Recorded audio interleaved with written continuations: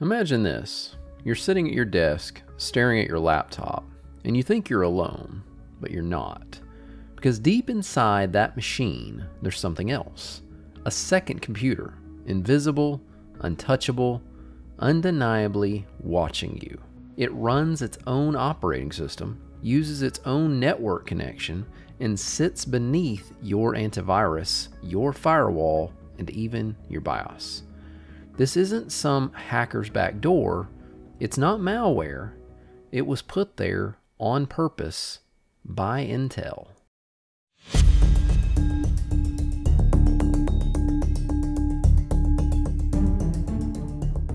In 2008, Intel began quietly installing software called the Intel Management Engine, or IME, on virtually every CPU it sold. They said it was for remote management, tech support, diagnostics, patching, nothing to worry about. But security researchers soon realized something far more disturbing.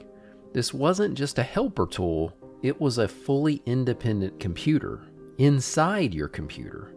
It has its own processor, it runs its own operating system, a modified version of Minix, and it doesn't need your permission to do anything. Even when your laptop is off, the Intel management engine is still on. And here's the kicker not even your operating system, not Windows, not Linux, not Mac OS, can see what it's doing. Imagine a ghost inside your machine that can silently read your files, monitor your keystrokes, capture your screen, and even send data over the internet. IME can do all of that. It can access your RAM, your hard drive, your keyboard, your mouse, and your network without a single process showing up in Task Manager. And you can't remove it. If you try, your CPU won't boot because Intel hardwired it into the boot process. Even worse, it has direct access to your Ethernet port, meaning it can bypass your operating system completely and talk to the internet directly. Antivirus can't see it, firewalls can't block it, and patches don't apply unless Intel gives them to manufacturers, who then have to push them to you, which they usually don't. In 2017, Intel confirmed a devastating bug in the management engine. It allowed attackers to gain full control remotely. This wasn't just some academic risk, it affected millions of machines and it wasn't the last. Other exploits followed, and researchers even demonstrated a keylogger built entirely within the Intel ME framework. What made these vulnerabilities so terrifying wasn't just that they were allowed, it was that you'd never know if you were infected. No pop ups, no system slowdowns, no logs, just a quiet ghost watching you from the inside.